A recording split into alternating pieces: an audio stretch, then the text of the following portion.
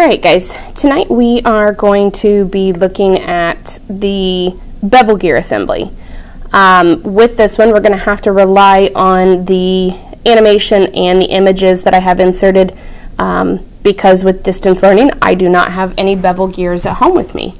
So you'll see the VEX build located on the right side of the screen. This shows what um, it would look like had I built it for you. You'll notice here where I'm putting my arrow in the center here that the bevel gears um, do not have anything located on, at the end. This is normally where we would have inserted a shaft collar, uh, but with bevel gear assemblies, we rely on the gears being perfectly locked in that 90 degree formation to hold them in place. So we would not actually be putting a shaft collar here or here because if we let that shaft poke out too far, then they'll butt up against each other right there at that 90 degree angle and then your gears won't turn.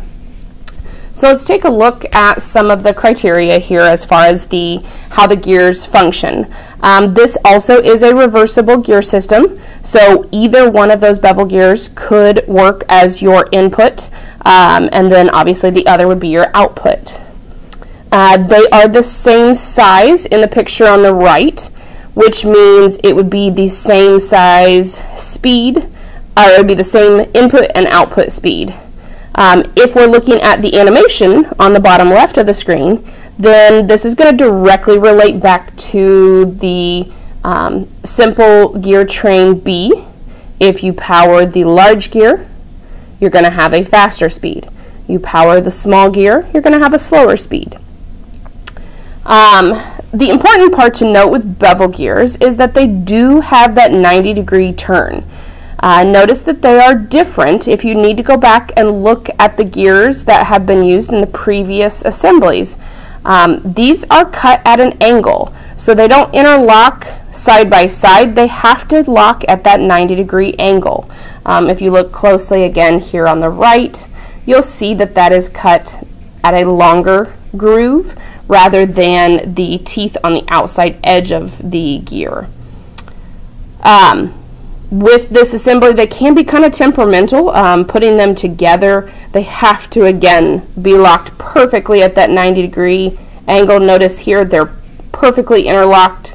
We don't have any space. We have to make sure that they're both fitting together. They do work pretty well as a propeller.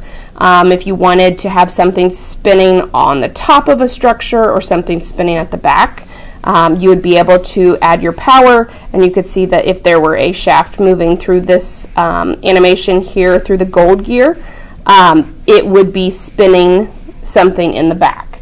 So they do work pretty well as a propeller system because of that 90 degree turn. Um, they are reversible and again we're locking those in at that perfect 90 degree angle so that we are able to keep them threaded together and then also from coming off of our system.